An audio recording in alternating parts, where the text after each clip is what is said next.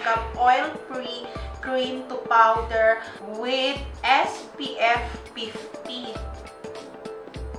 So I got the shades White Rose 702. So this is how the cream looks like. As you can see, I uh, dab it with my finger. That's why there's a mark in there. I swatch it with my.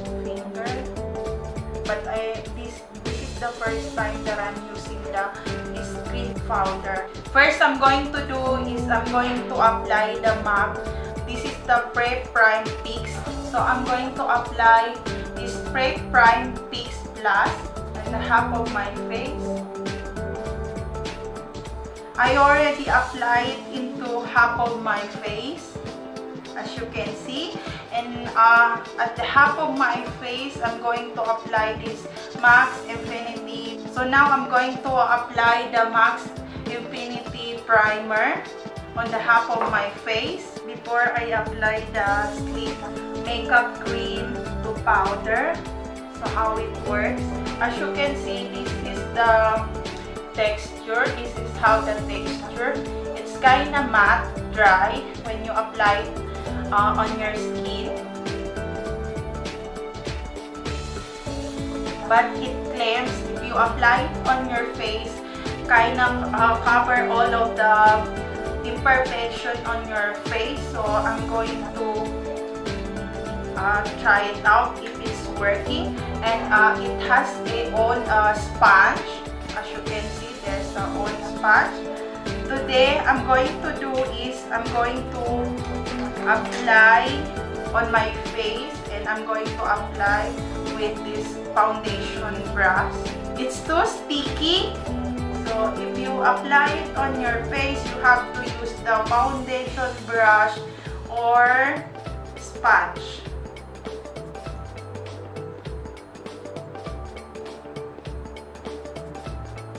It say if you apply it on your face, it covers all your blemishes, uh, pimples marks. So now, I'm going to uh, use the flat kabuki brush on the half of my face. As you can see guys, I apply one layer of the, the cream to powder. It's like a setting powder, but for me it's kind of like a foundation that. So, as you can see guys, so this is the difference, which is the half of my face. I already applied the cream to powder by Sleek. This is oil free with SPF 15 also. So, there is a difference. So, this is how it works say the blemishes. But as you can see, my marks in here. As you can see guys, if you use this um, cream, you need the concealer or, um, or green pad concealer on your face because it's not totally perfect. Now I'm going to use the sponge to apply on, my, on the half of my face. It says slowly slide the product on the side of the nose, on the chin, on the jawline, and for the hairline. So, using the sponge. So, this is how the sponge when I apply it on the half of my face using the sponge. So this is how it uh, came out. So for the finishing, I will say this, uh, half of my face kinda a little bit shimmer because of the MAC mix bright. And and this side kinda matte So if you want like a kind of uh, kind of mixed with the highlight or shimmer, glossy kind of effect. So you have to use this mask. Prep Prime Fix Plus. And I really like it. Because of this side. It kind of you have already applied the highlights. But I'm not yet applied highlights. Automatically. This one is a matte effect. Now I'm going to do my makeup but I'm not uh, using a powder or a normal powder because I already applied this cream to powder. So let's move on on my eyeshadow. So now, but before the before I do my eyeshadow, I'm going to apply first this uh, Too Faced Shadow Insurance Anti-Crease Eye Primer by Benefit. Just a little bit uh, amount, little amount of this product to apply. Anyway guys, if I apply this eye primer, this Benefit, it uh, long lasting, my eyeshadow long lasting and uh, there is no any crease. Like 8 hours eyeshadow, it's worth It's worth it. So now, let's move on on the eyeshadow. So I'm going to apply the Naked Urban Decay one. And first, I'm going to use brush. And I'm going to apply these shades, which is the Toasted. And I'm going to apply it up on my crease. Now I'm going to use this uh, large uh, blending brush. And uh, I'm going to use this smog shades color. Uh, like a simple uh, eyeshadow look. So now I'm going to use this one. This is the Precision Angle Kabuki brush. And I'm going to use this Virgin eyeshadow on my brow bone.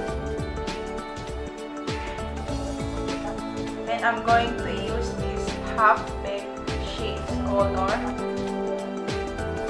the inner corner of my eye. Now, I'm going to use this uh, by Essence. This is the Smoky Eye in shades number 01 back to black. This is waterproof, long-lasting. To tightline my eyes.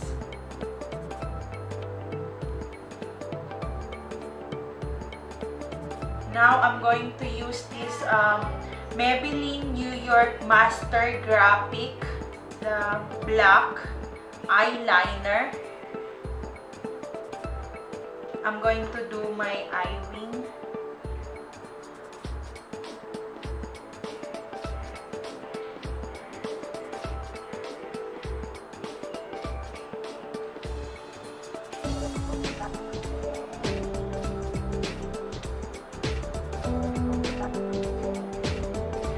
want to share for you, for you guys. So this is like a lashes clip.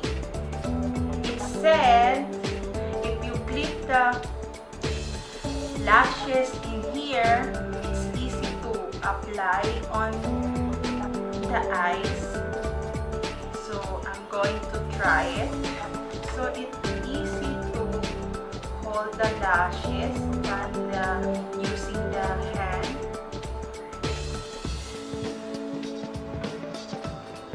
will see if it's working. So, all you have to do is apply it like that. Yeah, like that.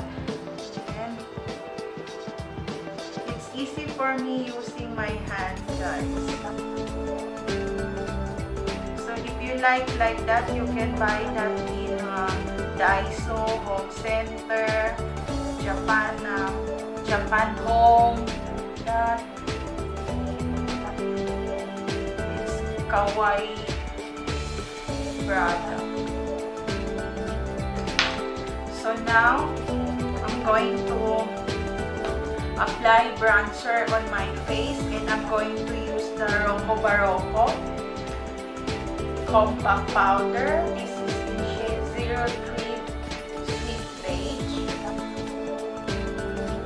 going to apply bronzer on my face and uh, I'm going to angled kabuki brush. So this is how the shades color. I'm going to apply it on the hairline of my forehead.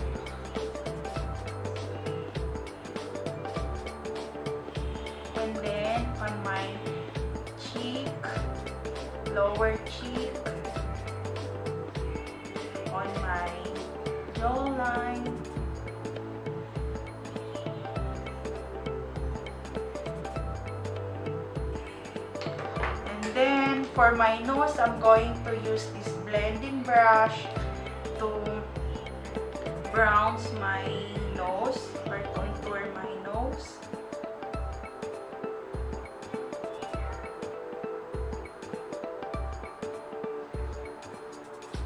So this is not intense contour nose. So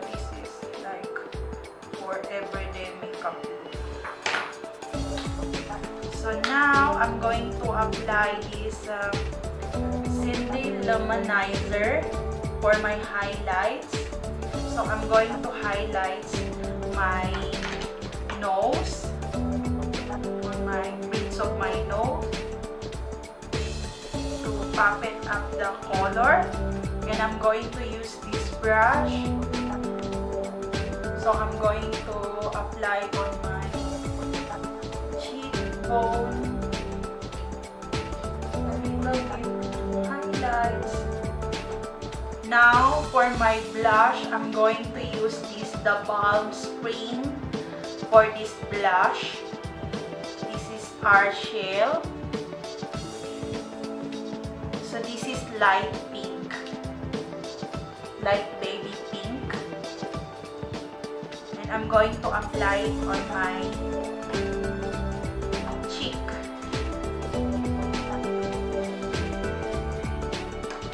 Now, let's move on on my lips. So, I'm going to apply first this one. This is the by Rimmel London lip liner. This is the All Spice to outer line my lips.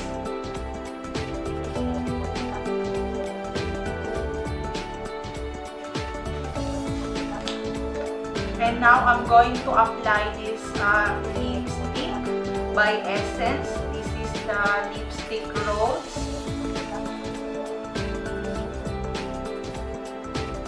So this is liquid consistency, as you can see, with a um, kind of brush, a uh, kind of sponge applicator. And I'm going to apply it on my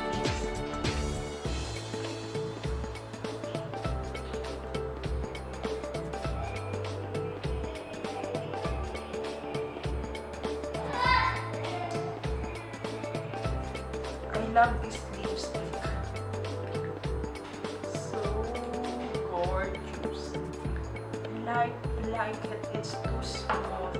And this is my first time that, that I'm wearing this one.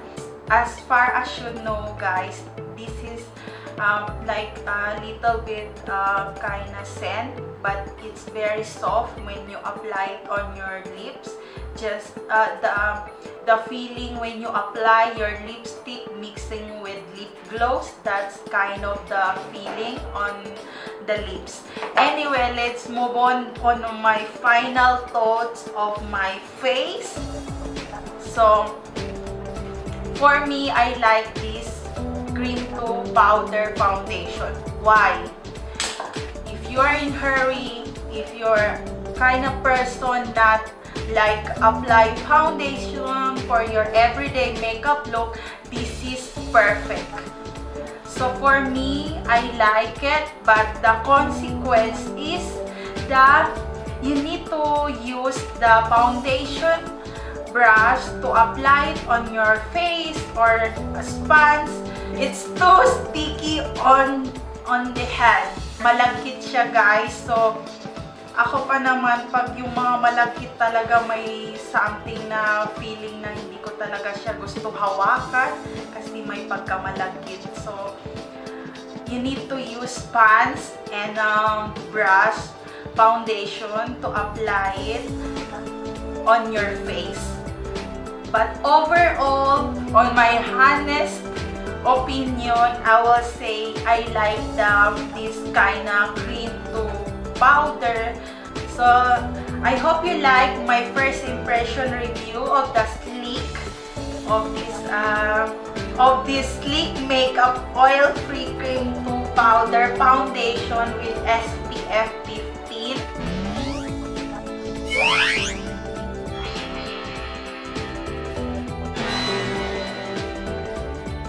For my brow, I'm going to use, uh, use the Rimmel London. This is in shade 002 Hazel. And I'm going to apply it on my brow.